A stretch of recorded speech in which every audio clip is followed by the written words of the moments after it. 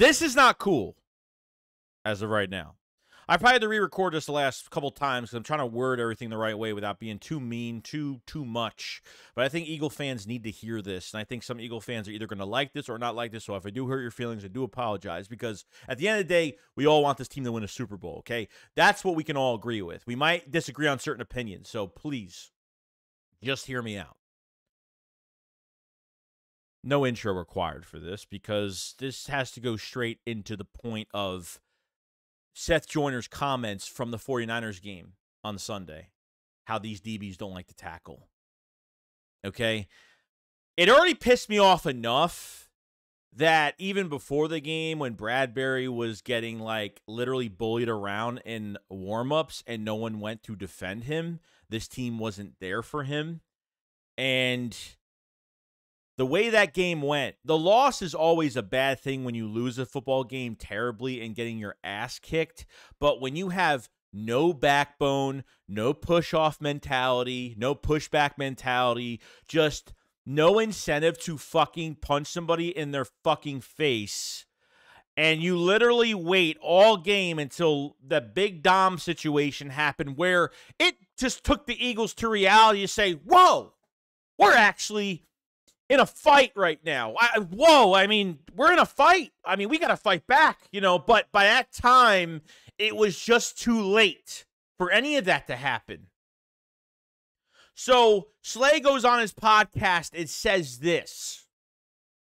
He says, I think I played a solid game. Could have made more plays. I had a great tackling day. I was tackling very, very well. A guy named Seth Joyner said, We don't want to tackle. I don't want, I don't know what kind of tackles he wants us to do. Getting a guy on the ground, getting a guy on the ground. I think I led the team in tackles. I think he played linebacker. They didn't teach guys how to tackle right back then. I don't want to be lowering my helmet down. I want to be able to talk to my kids. I don't want to be getting my team knocked out, getting concussion protocol. You signed a contract. You signed a contract.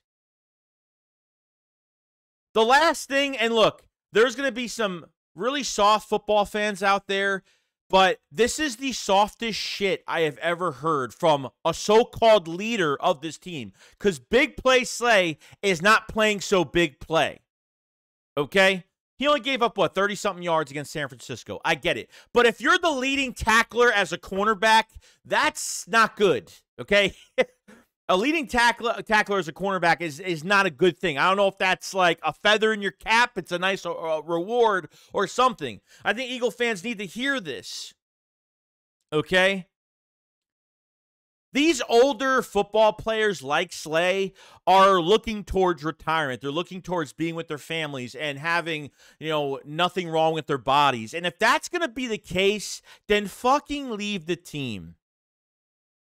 Seriously, dude, it's just one of those things where, like, if you're not willing to put, once that helmet goes on and you sign that contract every single week, nothing, of course, being safe is important, but you're going to base this off of you know you're not going to tackle a certain way because you know you're just going to want to oh as long as I can get the down get the guy down in any way shape or form it's all that matters because when Deebo was running up the field Deebo wanted a piece of the Eagles ass that's what he wanted e- Deebo Samuel wanted the smoke Okay, he wanted the smoke pretty damn much. And you know what you guys did? You this is what you guys did.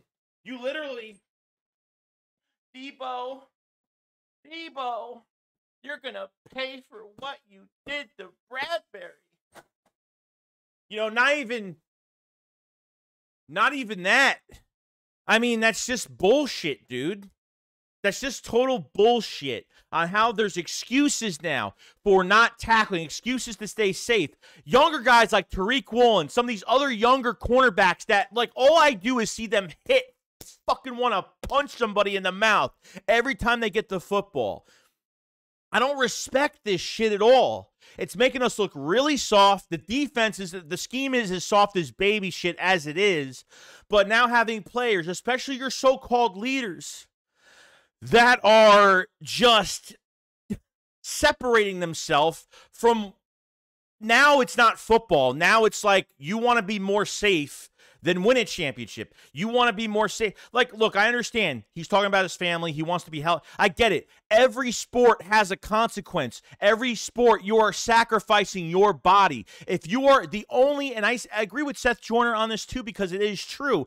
The only guy that is willing to sacrifice his body in this secondary is Reed Blankenship. That is the only player that is willing to sacrifice himself and take the big hit. Uh, who cares, dude? It's part of the game. Concussions are part of the game. It happens. It happens. I don't want to be lowering my helmet. I don't you know you don't want to you don't want to take a shot at somebody. You know, you don't want to take a shot at somebody. You just want to you want to defend your your fucking perimeter in this defense and just push them out of bounds or cut them off. Like that that's that's all that that's all you guys want to do. Well, that's really sad. I'm actually really sad that when you left to go to Baltimore and it almost happened that I was really pissed off and really wanted you back. And now I kind of regret that now. I kind of regret this whole entire damn thing now. Because you know what? That's where now because he said this now i know where his focus is. His focus isn't playing for the philadelphia eagles. His focus is retirement his future making sure his body's right. And that's perfectly fine but you know what? At the end of the day dude like they sign you to the number one cornerback position the cornerback one position to deal with anything that comes your way. And if you have to deal with it then you deal with it. And this is not dealing with it and if you're going to play this soft, pity patty flag football, that's you, what you want to do. He would rather not tackle. He would rather push somebody out of bounds. He would rather cut off of, of uh, cut off of uh, off a perimeter and let other guys tackle him. That's the type of corner Slay is right now. People in the comment section are going to say, "Oh, that's horrible that you're saying this," but look at what he's saying. It's pretty much saying like he's not giving us his all. It's not. If you're not tackling at 100% and you're and you don't want to lower your head and, and fucking pop somebody, then that's what you do. That's not football. Simple as that. This the this is why like I am on the verge to say, you know what? They have to revamp the cornerback position. They have to revamp the linebacker. The trenches are fine. The trenches are fine. I have no the defensive line good for years, not worried about it. The the defensive coordinator has to change, the scheme has to change, and linebacker, safety, cornerback have to change. And you, they have to get younger corner. Younger. Okay? It's just because the mentality is different when you're an older cornerback. Some guys are not some guys in the league that are older still try to play at a high level. doesn't matter. They're, they're not going to give excuses. And for Slay to say this and give ex- he should have just shut his mouth and just played football and that was it. So we didn't have to know any of this shit. But now, since we know all this information, this is just uh, now I know what Slay is all about. Now I know that Slay is all about, ah, you know what? Uh, I'm going to I'm going to fight with the Eagles over money this past offseason. They gave Slay more money this past offseason so he wouldn't go to the Ravens. They begged him to come back. I mean, not even begged him, but they, you know, he almost went to the Baltimore Ravens. His wife was upset that he was going to make this move. And then, you know, he got more guaranteed money. And this is what you say? You just came off one of the most embarrassing losses of the season, literally just got your shit pushed in. And now, this is your answer to Seth Joyner? Seriously. Seth Joyner should be coaching this damn team right now. The tackling is god awful. It has been. It has been. But to know that a player is not going to tackle a certain way because I'm thinking about my family and I'm thinking about this, and then don't, then leave. Then leave after this year because we're not here to get part time football players. Guys, I'm sorry, but if this is out of line, please tell me because when you're signing a contract for millions of dollars and you're playing for the Philadelphia Eagles and you tra- and you put that football helmet on and you strap up, okay? You can't have somebody with an attitude like this. And because the scheme is so passive and it's so soft and it's, you know, all the shit that we were promised from Sean Desai – before the season started, it's making the players even more soft. and I'm not saying that everybody's like this. There could be more players that feel like this, but because Slay is older and he's not trying to screw up his body and sacrifice his body for another championship, then I don't fucking need you here. Simple as that. It happens. Shit happens. I've I've me personally, I've played football. I've overextended my knee. I've had hamstrings. I I I broke my hand. Like shit just happens, dude. It just happens. And because he's an he's an older guy that's reaching as he's at the end of his career almost, he's gonna I'm going to play a little softer and as long as I can get the guy down, I just get him down. You know, after getting 15, 20, 25, 30, 35, 40, 45 fucking yards. Yeah, I guess I guess that's all that matters then. As long as you get the guy down, as long as you can stop him from the goal line to the goal line, who cares where he's at and how many yards he gets, right? Pitiful, man. It's pitiful. And I think a lot of Eagle fans need to hear this because that just shows you just how much of a shit show. I'm not even talking about the offense. How much of a shit show this defense is. And because when you don't play aggressive style defense, it doesn't really he's not built for that anymore. Probably not. I mean, he should have just shut his mouth and not said a damn thing about it. I'm trying to like be fair, but when I hear something like this, it's just excuses.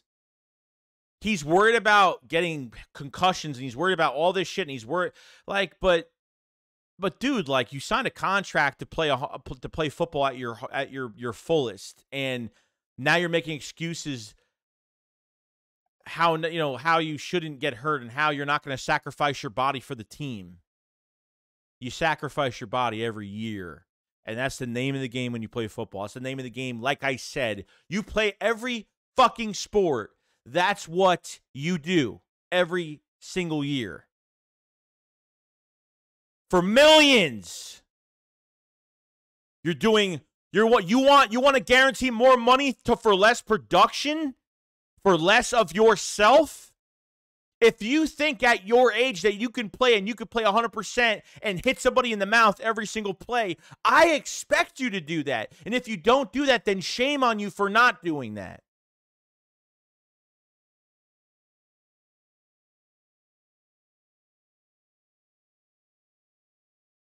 It's it's just one of those I, I'm I'm just I don't know. I don't know. I'm really just trying to figure like I, I don't I don't I'm just talking about Slay like and the defense in general, but Slay more specifically, like he he got paid more money this offseason. He got paid like he almost went to the Ravens. And he like wanted more money. The best thinks he's one of the top if he thinks he's one of the top corners in the league, great and he deserves all that money, great. But I'm expecting 100% out of every game. I'm not gonna put my head down and go hit him. I mean, geez, I got a family. I mean, God, like I gotta, I gotta go. I, I, you know, I'm gonna have another ten kids. I gotta, I gotta go out and have more babies. I gotta go do something else with myself. It's bullshit, dude bullshit. And trust me, I'm speaking my mind right now. I don't give a fuck people like it, don't like it. Walking I'm not walking on eggshells. This shit literally pissed me off. And this this attitude right here, that attitude explains what our defense is. Passive, soft, not willing to go the extra mile, and that's involving this defensive coordinator and Sean Desai. Can you win can you actually win a championship with this defense and this this attitude?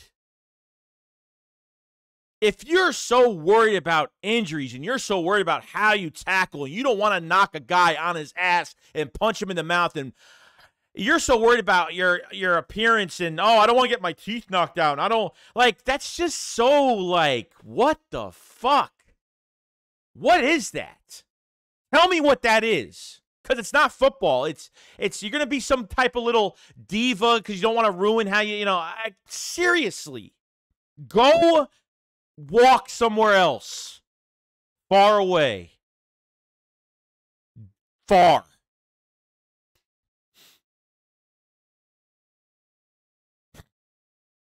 Man, um I'm just like I've had it with this team. That that 49ers loss really fucking fucked me up. It screwed me up really bad. To a point where like if this goes into more games, if this starts to dr- drip into other games of just this no heart passive play that we have been doing, I, I don't even know because getting scored six consecutive times on is not fantastic. Hope they show up more pissed off. But what Slay said really ticked me off. It's not a good look. It's not a good look for the rest of the year. I can tell you that much. We still, we're we're going to be in the playoffs, and that this is this is the attitude we have. I already know. I know. Bradberry gets gets bullied on in warm-ups and no Eagle players are I mean, you let the 49ers swarm him and bump into him, no one does a fucking thing. That's fine. You know, it's perfectly fine. That's Philadelphia for you. And Slay, mm, nah. I'll support you the rest of the season, obviously, but after this year, yeah, I'm looking to revamp a lot of shit. Cornerback position, linebacker. It's time to go younger and go draft some guys that want to fucking knock somebody out. So, you guys have a great day. See you guys on the next one. Let me know what you guys think, and I'll see you on the next one. Uh, Seth Joyner, please be the defensive coordinator. Maybe I don't know. Shit, he knows. I, I guess you know he knows what he's talking about, and I guess the truth is uh the truth is right there in front of us. So, have a great day. Bye bye.